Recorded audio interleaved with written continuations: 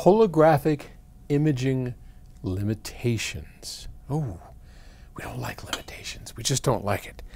Um, I certainly don't. This question comes from Herb in Oakland, California, home of the Oaks. Hey, Paul, as much pleasure as I have taken from your comments, thank you, and your advice, I've been feeling discouraged about your recent advice regarding speaker placement in holographic imaging. I'm sorry. Hmm. Between the dimensions of our living room, furniture, and my live in girlfriend's unfathomable indifference to the joys of stereo, I am limited to racking my components between my speakers. I'm on the verge of buying Cardas Cygnus interconnects and I'm considering replacing my seven month old Niagara 12 conditioner with your Stellar 3 regenerator. Okay? Given my space relationship limitations, should I just give up on imaging and future upgrades, sell my gear, buy a boombox, replace my girlfriend with an inflatable model? Curious minds want to know. Dang, son, that's good. I like that. Let's hope the girlfriend isn't watching. Uh, we get some great questions, and I thank you for those. well, I'm no, don't give up, and no, inflatable girlfriends aren't anywhere near as much fun as the the originals. Um, yeah, my recent advice has has really set a lot of people up in arms because I have said if you got a pair of speakers, don't put anything between them. And I, you know, Terry gets really upset with me when I go to extremes of exaggeration to make a point.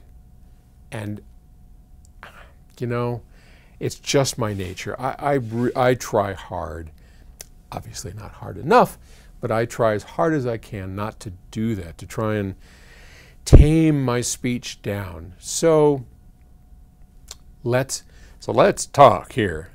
Um, I got a great deal on some inflatable dolls. Back of our catalog. When I said you don't want to have equipment between speakers, what I'm referring to is something tall and large that is going to get in the way of our holographic soundstage. Okay? So we've got speaker, speaker, and if we have a big stack of equipment right in the middle, there's no room for the musicians to play. But that doesn't mean you can't have any equipment in, in the middle. And this is where this exaggeration thing comes in with my apologies, sir.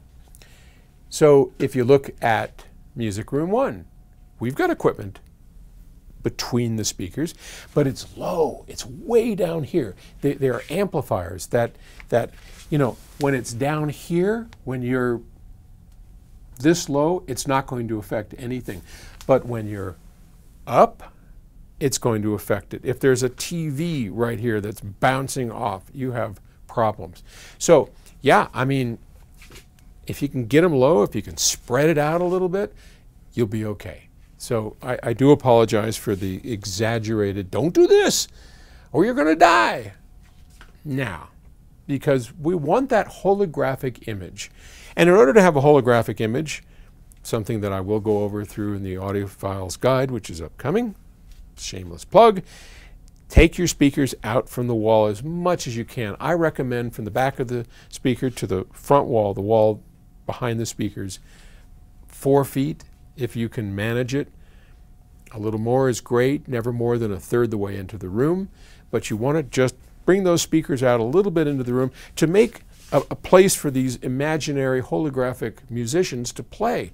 So, and, and, one of the things that I'm going to do and that I'm focusing a lot of my writing efforts on in this upcoming book that I'm writing is how to take whatever you have, whether it's this situation, your situation, because everybody's got something different.